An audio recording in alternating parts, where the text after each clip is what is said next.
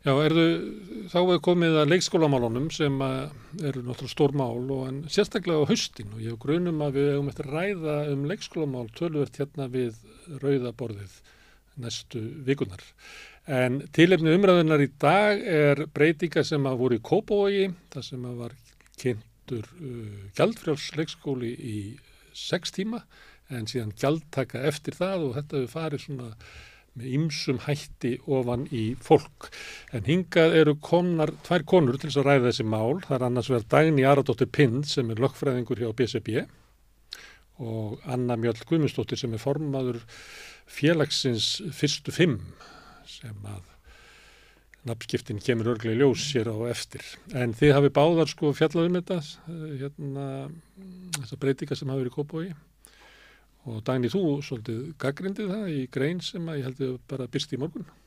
Já, grein sem byrst á vísi í morgun. Já, hvað, hérna, hvað er að? Eh, sko, þetta er auðvitað bara svolítið svona leikskólamálinu undir heild eru svolítið stór máluflokkur en þarna er sérst Kópavóksbær að leggja til að sex uh, klukkustundir á dag veri gjaldfrásar uh, þannig að fólk greiði það bara fæðiskjaldið uh, en á hinum endanum að vera að hækka gjaldin tölvört mikið fyrir vistun umfram það. Já. og til dæmis 8 tíma vistun er að hækka um 11.500 kall og Frá því sem áður var. Já, og 8,5, 15 og svo, þú veist, hæra og hæra eftir því sem bætun eru lengra. Og hérna bærin segir að, að, að dvalatími banna og langur, vinnumarkaðin sem voru miklu sveianleiri, uh, leikskólanir standi fram með fyrir mönnunavanda og, og fleira. Og sko þetta með mönnunavandan og, og það eru auðvitað algjörlega rétt og ekki eitthvað sem þekkist bara í kópói heldur eru starfsæðstöðar á leikskólum ekki nægilega góðar og það hefur einst erfitt að, að manna þannig að fæst sveitafélög eru að uppfylla sín markmið um að taka börn inn á ákveðnum aldri og eins og Reykjavík hefur verið með, verið með stefnum að koma öllum börnum inn á leikskóla að loknum fæðingarólofi. Það hefur bara ekki getað staðið við þau lofvort, langt í frá. Nei, akkurat mm. og, og eiginlega er nú verið ekki starri sveitafélög. Þetta gengum mun betur út á landi. Við gerum úttækt á þessu sem byrtist í fyrra sem meðast þá við hérna haustið 2021 og eiginlega stærri sveitafélög eru bara ekki að standa sér nægilega vel. Og það eru alls konar fyrir, ástæði fyrir því. Og, og við tökum algjörlega undir sagt, þessar áhugjur af mönnun og vanda leikskóluna og, og hérna og bara því hversu erfitt er að vinna hana og þetta eru kvennastjættir, stóra kvennastjættir uh, og störfin sagt, eru verulega vannmetinn mm. og, og hérna launin er ekki nægilega góð og, og starfsafstæðunar heldur ekki. Uh, þannig að það er við erum algjörlega sammála því en við, við teljum að þetta sem Kópásbæri er að gera sé alls ekki rétt leið. Uh, þetta, er rétt, þetta er rétt greining á vandanum en vittlus úrlust Já, akkurat og þetta með til dæmis að vinnumarkaðarins eru svo sveianlegur og fólk hafi frelsill að vinna heima og, og hérna sumi sumi stittri vinnutíma. Uh, vinnutímin til dæmis í ofinbjörnstarfsmunum er í mörgu tilökum orðið stittri en þá eru við að tala um 36 stundir á meðan að þessi gjaldfrási leikskóli er 30 stundir. Og þau sem hafa sveianleika það er aðala fólk sem er hérna kannski sérfræðistörfum og nýtu meiri forréttinda uh, hefur meira á milli handana á meðan að fólk sem er uh, hérna, til dæmis einstæði fóreldrar og, og hérna, eða þá í svona lægra launum störfum, það sem er oft lengri vinnudagar og först viðvera það hefur einfallega ekki annars vegalega og ekki þessi tækifæri þá til að nýka til. Þá er niðurstaðan svo að það fólk, einstæða móðurinn sér umvel að greiða nýður dagvistina, ef maður miða við hvernig þetta var áður, mm -hmm. fyrir þann sem er í betri, eh, meiri forrættastöðu. Já, það má alveg segja það að það er langt mest hætta á því að þetta komi illa við fólk sem að stendur verð eh, fjárhastlega og líka kannski með minna bakland og þá getur við nefnt líka bara fólk sem á ekki uppruna á Íslandi. Já, sem getur ekki beðið af og ömmu að sækja og þetta. Já, akkurat. Sem og... allir fóröldar að þekkja að er náttúrulega aðferði sem eru notað bara til þess að geta alveg upp öll að þú þart að þeir sem hafa baklandi vita hvað mikil svirðið það er. Já, já, algjörlega og Já, ég ætla svo ekki að alveg hérna kannski buna þessu öllum út um mér en í upphafi en, en svo eru alls konar svona jafnbrettis áhrif líka sem við höfum miklar ágjur af og, getur kannski þetta reki konur heim. Já, til dæmis, já, að hérna, að því að það er bara svolítið þannig að en, það er en, ennþá þannig þó að séu þetta breytast að konur bera miklu meiri hérna ábyrð á uh, umönnun batna og, og reynda fleiri en, en hérna og almennt eru það líka á læri launum miklu starri hluti hvernig er í hlutastörfum uh, þannig að þetta er svona já, ekki góður hvað, eða sem sagt Já, þetta er ákveðin pressa á konur þá að, að minka við sér vinnu. Já, þannig ef að þetta leiði til þess að foreldrar þurfi að draga úr vinnu sinni, þá er það líklegt að það verið dreigi úr vinnu konunar. Já, ég, ég myndi að halda það. Herðu, Anna Mjöll, þið hafi nú verið að berjast fyrir sko stýttingu leikskólasleiki Já. en, en, og núna kemur það. En þá er einhvern veginn, eh, er þetta svona gaggrind af þessu fórsötu sem að, að, að Dagný er að gera? Já, algjörlega. Og ég tek algjörlega undir það sem hún segir að þessi, ég meina, já, bara þessi vandamál sem kom upp í við þetta. En í rauninni okkar, við erum sér að fyrstu fimm hagsmunafélag foreldra og fagaðila.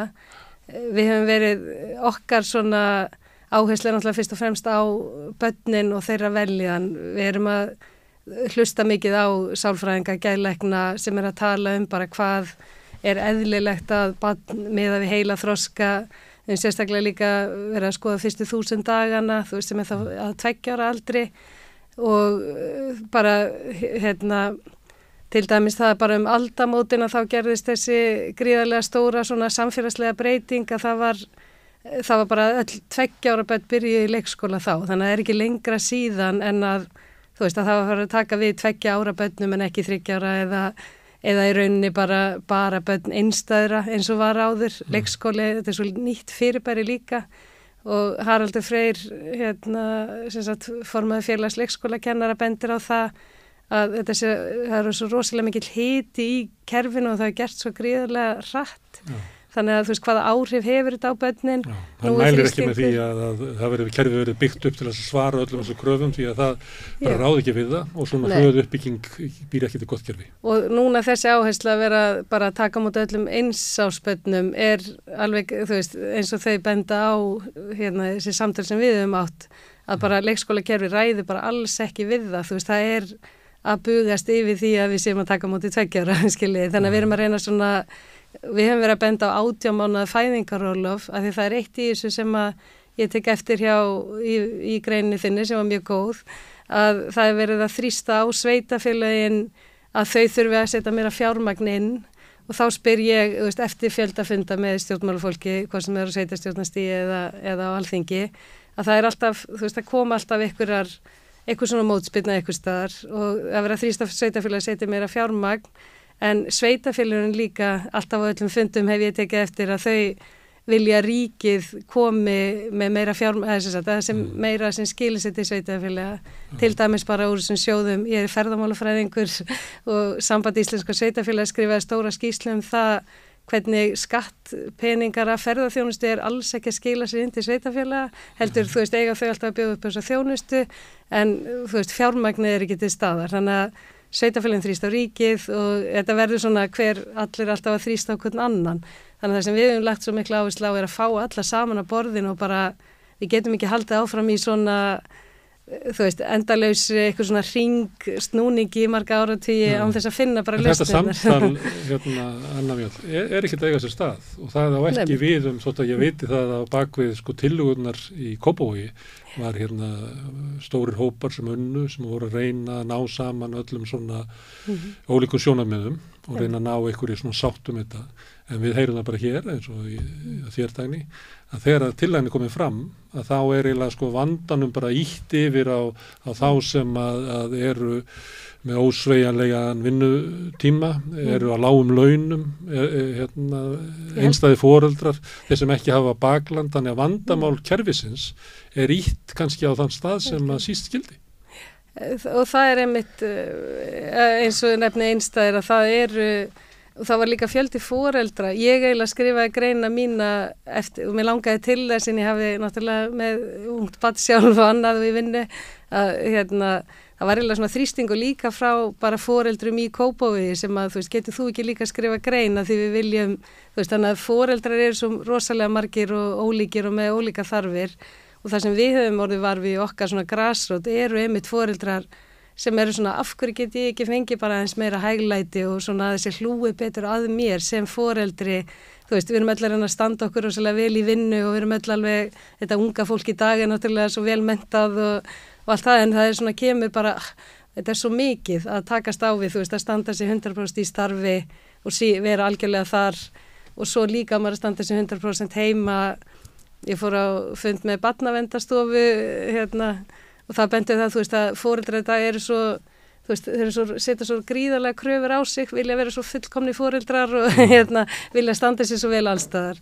Þannig að við svona heyrum þetta bara, getur verið ekki einhvern veginn bara samfélagið allt og aðeins bara hægt á sér, þú veist, og hugsa hlúð betur að fólki í þessari stöðu, mm. þú veist, á einhvern nátt. Þannig að og auðvitað eru, eru vandamál við þetta en minnst þetta, þú veist, foreldrar er alveg gríðarlega stór og sterkur þrýstiaps hópur mm. um samfélagsbreyting. En Anna, með finnst þetta jákvæð breyting í Kópavói eða ekki?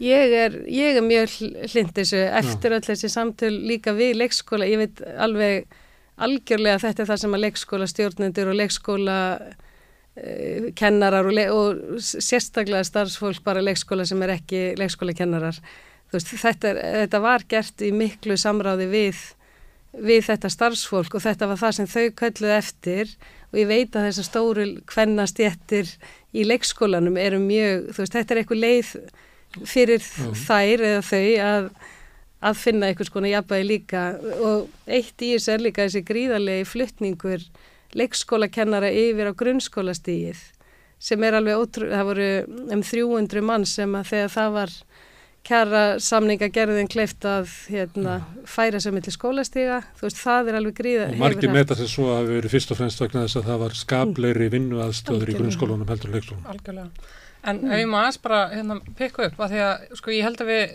séum algjörlega sammála um þessa framtíðasín mm.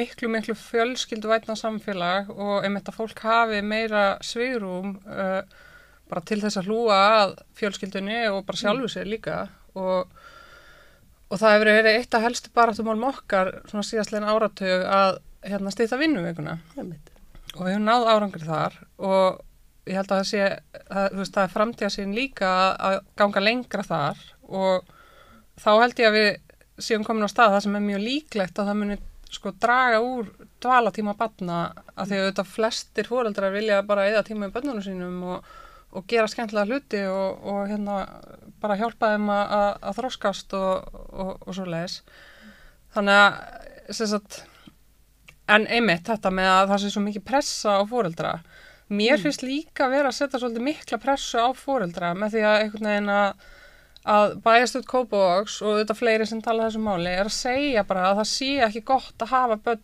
í mm. meira en 6 tíma á dag á, á hérna leikskóla sem að þýðir í ef að maður þýða það yfir á svona hagstarðir að, að ef þú ert ekki með nógu góða tekjur þá áttu ekki efnu þegar bann Nei mm -hmm. og, og ég menna líka bara þú veist verulegin er ekki þessi. Þú veist að hérna, meiri hluti fólks á vinnumarkaði og þá til mis hérna, Halla Gunnarsdóttir stjórnarkona í Vaffer skrifaði grein líka um þetta mm. Og hún benda á bara að þú veist allur almenni vinnumarkaðurinn er með lengri vinnutíma og það eru þetta stærstu hluta fólki á vinnumarkaði.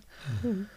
Þannig að, að hérna, og einmitt, þú veist, eins og ég sagði áðan að sérstaklega kannski fólki sem er í viðkomari stöðu og, og að læri tekjum. Mm, Þannig að mér finnst einhvern veginn að, þú veist, það er svolítið verið að byrja á þannig öfum enda. Mm. Þú veist, við þurfum kannski fyrst að ganga lengra þarna, mm. uh, sem sagt, varandi þá vinnutíma og að gera, sem sagt, auka réttindi fjölskyldu fólks, uh, gagvart vinnunni mm. og svo væri þá hægt að taka þessi skref uh, í kjálfari. En einhvers það verður að byrja skrefin af því að mm. það er alltaf hægt að segja sko að við höfum frekar að það gera eitthvað þannig. Þannig að telur þú að Gópavór sé að gera smá mistök á því að, að, að byrja að taka sér skref skilur eftir vanda einhver staðar hjá hennum tekjulegri og þeim sem að hafa minni sveianleika Mm. Er hægt að segja og svo að já þá verðum við bara að, að hérna, eiga við þann vanda sérstaklega með þeim hætti við getum ekki hérna, leist þann vanda bara á leikskólunum. Leikskólunni get ekki tekið bara á sig álægi vegna þess að, að sko fóreldrakynsluðin er lægra launuð, veikar efnarslega stöðu, aukin húsnæðiskostnaður leggst sérstaklega þungt á hana, þetta er fólki sem skuldar mest uh, og þar, þar, þar leðandi þar leðandi að vinna mest, er náttúrulega líka með kröfur eins og svona kultúrískar kröfur eins og annar mjöldur að segja í nútímanum okkar að við þurfum að vera svo fáránlega fullkomin mm -hmm. að ég fylg áður en börnin komið að þá höfum við alla tíma til þess að vera fullkomin og svo ætlar að tróða heilu barni ofan í þann tíma og hver ætlar að taka hann -hmm. þannig að, að Þú veist, erum við kannski að leggja ómikið á því að leikskólinn leysi þetta allt saman? Því þá endar bara með 12 tíma leikskóla eða eitthvað tíma var nú stungið bá því að var leikskóla líka opinn á kvöldin, ég held að verið viðrist þegar maður stakka bá því. Já, það þekkist alveg á heilbyrðistofnunum Erlendis til dæmis, það sem fólk eru auðvitað í vaktafinu. Um, já, nei, þetta eru dóksla flókið, mm. veist, það er ekki tægt að segja að það sé bara einhver einn ein veist, það þarf einhvern veginn alltaf leggjast á eitt, þú veist, það þarf að auka réttindi fólks á vinnumarkaði til þess að, að sagt, já, sagt, fjölskyldi fólks á vinnumarkaði og reynda bara almennt en, en að því við erum að tala um þetta. Eh, það þarf auðvitað samtala á milli leikskólana og, og, og einmitt ríkisins og sveitafélagana eh, þú veist, við hefum líka bent á það bara ef að leikskóli eh, rétt, réttu banna til leikskóla vistar í lögfestur þá er þetta frekar eins og grunnskóli en ég menna að það komast öll sex ára börnin í skóla. Mm. það er ekki þannig með leikskóla. Um, en Það veist, er henn samt ekki lausnin sko, ég heyr alveg þegar þú ert að leggja þetta til að ég finnst það ekki verið lausnin, Nei, endilega bara að öll börn fari í leikskóla sex, ára, sex mánuða gömul.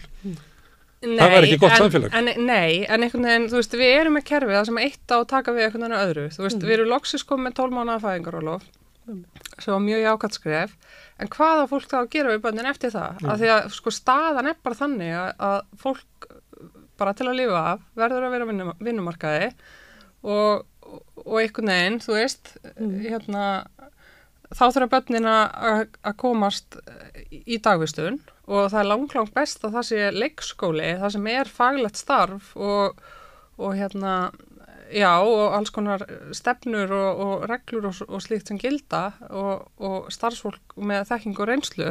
Mm. Já, þannig að, þú veist, já og kannski, þú veist, mér finnst einhvern veginn að við ættum að byrja á því að ásamt því að lögfesta að hérna réttbarna til leikskóla vistar að taka bara, sem sagt, leikskóla kerfi til gaggjara endurskoðunar að því að varðar laun og starfsastæður. Því ég held að það væri rosalega stór partur af því að einhvern veginn lagfæra þetta. Og þá komum við aftur að því að sagt, hvernig samfélagi metur virði þeirra kvenna sem bera uppi velferðarkerfið. Mm. Að, að það er hérna, það er mikið tilfinningarlegt álæg í þessum störfum, þú veist þetta mm. krefst gríðarlega mikillar aðtikli og þú veist, þú ert með augun einhvern veginn út um allt á sama tíma.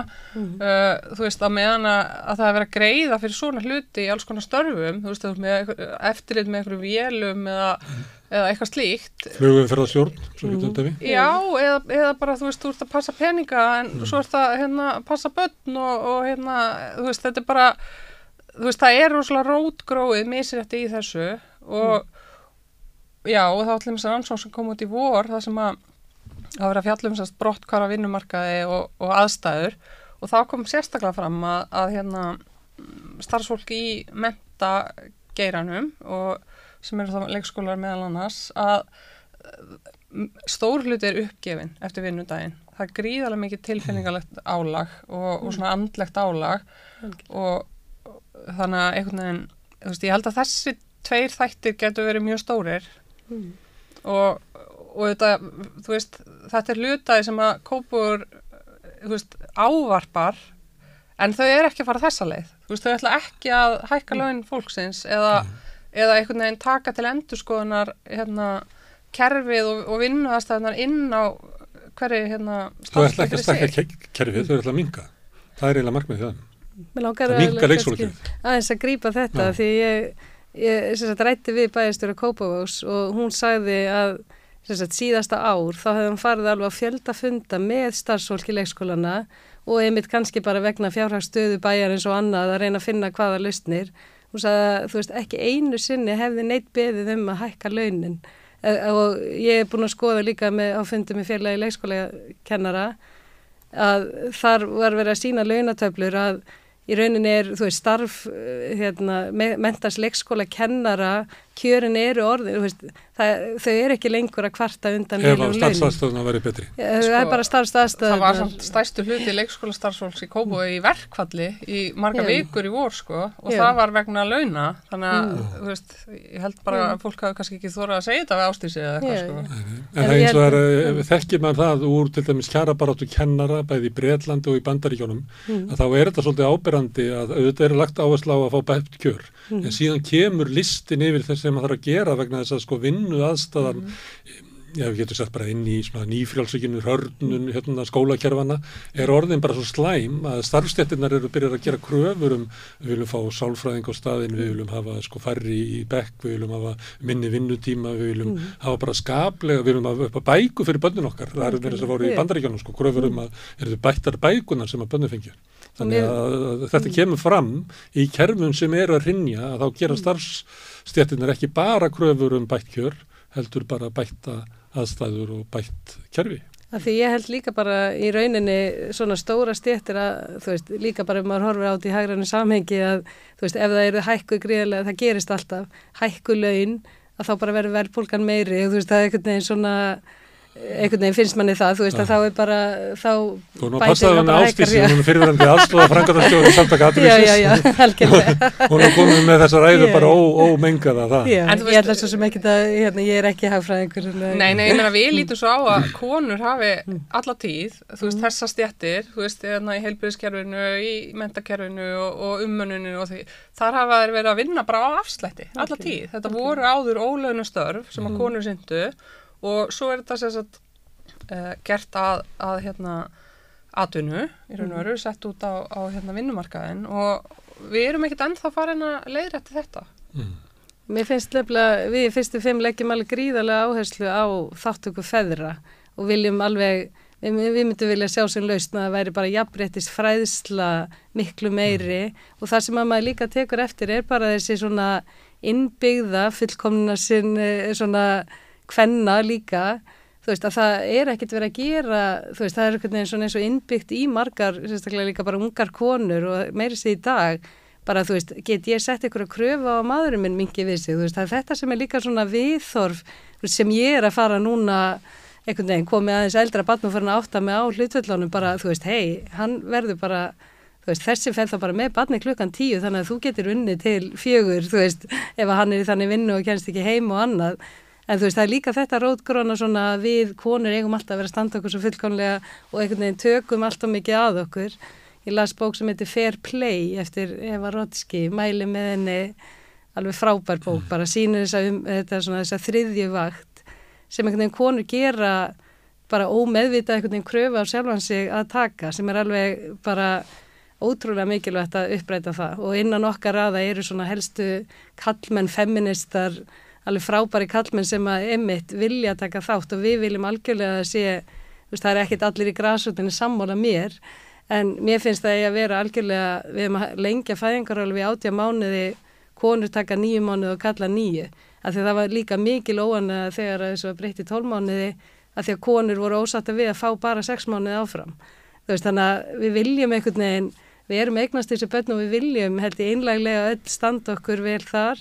Og við langar líka að grípa þennan punkt með að þessu sex tímar gældfrjálsir það við höfum bent á þetta sem rosalega góða leið til þess að leta á kerfinu fyrir einmitt lálauna fólki og kannski fólki verri stöðu sem þarf að vinna að það sé þá boðlegra og, og betra umhverfi fyrir þau börn sem að verða að vera lengur.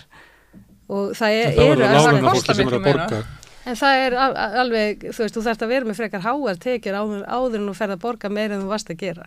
Mm. Þannig að við hugsaum, léttum á kerfinu, þú veist, þau sem einhvern veginn geta hlýra til, kannski þetta forréttinda fólk sem getur þá kannski valið að mæta kljóðan 7 og vera til 3 og annað, einhvern veginn að hlýðra, en þú veist, það er alveg, hérna, verið talað um það að bara líka batt sem er í bári stöðu heima og fóröldrarnir sem betur fyrir þá kannski bara hafa þið í leikskóla átta tíma, það sé ekki í þessum hræðilega háaða og áreiti þú veist, að minka aðeins þetta áreiti líka á þau sem eru mm. sem að þurfa að vera lengur Það segir mér, hvort eru við að tala um leikskólavandan eða vanda hérna barnafjölskynda Af því að, að, að sömuleyti þá er, ef maður tæki sko það sem er að og það kemur til þess fram í rannsóknum hjá hérna úr verkefliðsefingunni að staða einstæðra foreldra er eh, veik og þar eru mörg börn sem að, að falla ofan í fátækt. Af því að þau eru einstæðra foreldrum sem er náttúrulega lítur að vera eitthvað byrtingamind þess að sko stuðningur við barnafjölskyldur er veik í okkar samfélagi.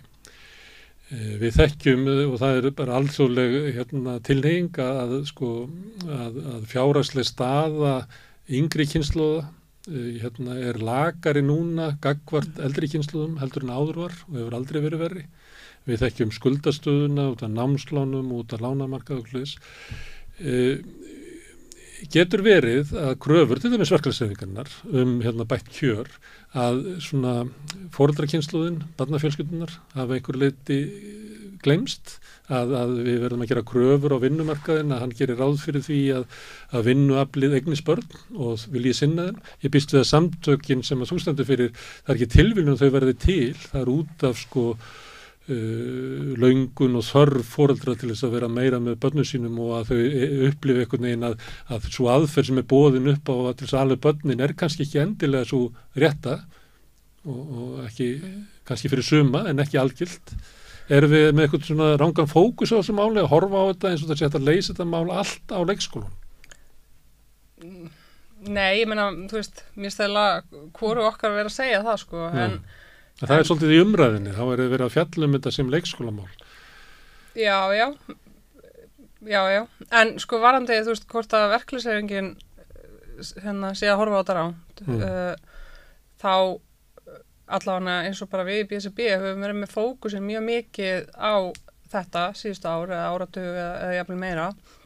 Eins og með styttingu vinnuvíkunar þar sem að hérna uh, er beinlins verið að gera, ge, hérna, gera fólki auðveldara að samþætta vinnu og, og fjölskyldu eða englíf og á samaskapi hérna áralöngu bara átt að fyrir því að lengja fæðingarólofið og í því tók öll verkalseringi þátt þannig að ég myndi segja að það er ekkit, þú veist, auðvitað þarf að berjast fyrir bættum kjörum í launum en, en þetta er stór þáttur af því sem að verkalseringin er að hugsa um og að samaskapi þá er velferðarkerfi svo stór þáttur og til dæmis batabótakerfi af því að þú veist að tala um fjárhags Mm.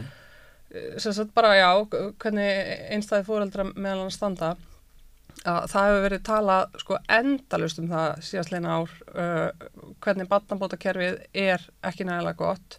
Hústæðsmálin sem eru líka einn af fókusmálum verkefælsæfingarnar, þú veist, það, það eru bara beinlega að tala um lífskjör líka. Þannig að held einhvern veginn að fókusin er víða og allan að hjá okkur í BSB þá var okkur það var efst að bauði hjá okkur í raun og veru eh, bara hérna alls konar eh, svona lífskjara mál og, og jafnbrettismál líka í víðum skilningi. Þegar við vorum að ræða þessi mál hérna síðallið haust og þá kom meðal annars fram að, að í Svíþjóð þá geta fóreldrar gert gröfu um það að fara í hlutastarf. Mhm. og ég held að það hefur verið allt að, þangað til að barnið er orðið 12 ára. Og það er svona aðferð við að það sem að vinnumarkar verður að viðurkenna að, vinnueflið eignast börn. Og sama á vinnueflið verður veikt eða vinnueflið þarf að fara í sumafrí að þá ef, að, ef að ég á barn að þá ge- hef ég rétt á því að fara niður í 60% vinnu þegar barnið er alltaf þá er 6 ára eða í 80% þá er 12 ára eða eitthvað slíkt. Eitthvað slíkar kröfur getur það verið? Uh, sko, að því að sömuleiti er þrýstingurinn á sko, að uppbyggingu leikskólakerfisins er þrýstingur hérna, fyrirtækjana fyrir að fá vinnuafli til vinnu.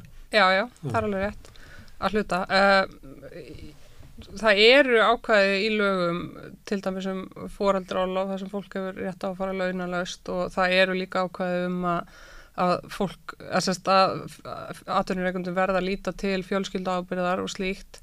Ég held kannski að vandamál þarna sé að, að það er miklu erfiðar að lifa á 60% launum eða 80% en launum þá væri það sama með sumalifið, þú ert á fullu launum í sumalifinu Já, það er, ja, ég er að tala um að ég- fyrirtækin taki á sig ábyrð á því að sko vinnuaflið eignist börn. Já, ég meina, hérna, ég sé þetta ekki alveg gerast á næstu mánuðum og árum, en, en, en hérna, en þetta er alveg, þú veist, þetta er partur af því að hugsa þetta heildstætt og og, viðurkenna þessu börn í samfélaginu já, og líka bara að, þú veist, fólk er ekki bara að vinna sín, heldur, hérna, já, á það alls konar líf fyrir utan það og, Já, en ég, já, svolítið er auðvitað með að sjá þetta verða verulega. Ég nefnilega fór að fund með Jóhanni Páli í samfélkingunni, mjög góðu fundur og dagbjörtu líka.